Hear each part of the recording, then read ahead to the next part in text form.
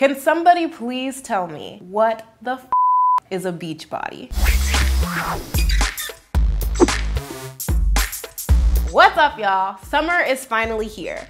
And of course, with every approaching summer, there's always these horrible, horrendous magazine headlines that follow women wherever they go, talking about how to achieve the perfect beach body. Last time I checked, if you had a body and it was at the beach, preferably under an umbrella and with a margarita, that's a beach body. But of course, according to our messed up society, it has to mean something more than that. Hi, I'm Nyla. And I don't think I have a beach body. Even though I was always taught in my household to love my body, the way media photoshops women's bodies has had an impact on the way that I look at my body.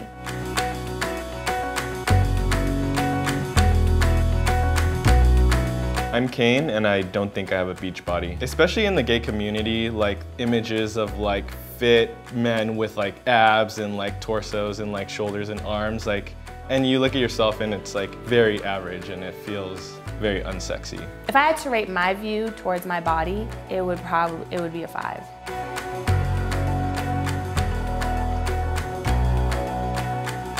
When I'm sitting down, like I can feel like a tummy and I'm like, ugh, I have to be, I have to have a flat stomach. And I'm probably never gonna have that. And I don't know how to accept that. When I was in my teens, I struggled a lot with my weight and self-worth. My sources of motivation to lose weight were always in the wrong places and usually stemmed from a desire to look good for other people instead of looking good for my damn self. I remember having a skinny list, which was basically a list of things I told myself I couldn't do unless I lost weight. Looking back on this time in my life, it really makes me sad that I couldn't be comfortable with who I was and that I felt mentally restricted from things due to my size. So I wanted to take a fellow lady and a fellow man because let's be real, men also deal with their fair share of body insecurities too and I wanted to challenge them to believe in their beach body. I decided to bring in my lovely, fabulous, fantastic photographer friend, Christophe, who helped me through my boudoir photography shoot, and I wanted to set up some type of a photo therapy session for them at the beach. I finally have a bathing suit. I'm super excited so nervous. Our photo shoot is today and it's also our boss's birthday so we went out for tacos and birthday cake. Oh no. I am challenging myself to wear a two-piece that doesn't have a high-waisted bottom because I feel like that's a part of my comfort zone and I'm really taking this opportunity to not be in my comfort zone. Last night I also looked up guys posing on the beach. Wait, really? Did I did, and that's a bad idea because everyone is ripped. I was nervous at first because I was shirtless for the first time at the beach in a long time and like the poses were like felt weird at the time. When Kane was going, he was just slaying and that kind of boosted my confidence a little bit and then when it was over it was like okay your turn and that's when the nerves started to hit. I'm kind of nervous.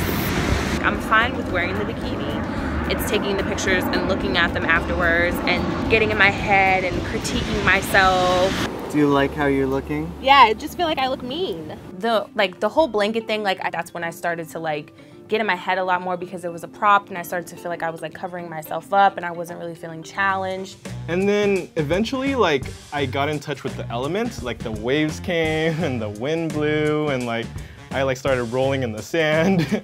People were saying like, go Nyla, like you got this, like you're slaying. So that was like really encouraging. Who came to slay? I came to slay, yes. I feel like more connected with my body, I guess. And that's kind of nice. We did it!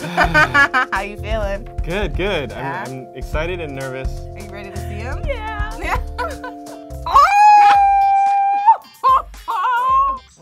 Water dribbling down you all sexy and you shit. know it's real. Like, I love the wave action. The wave is hilarious, but kind of cool.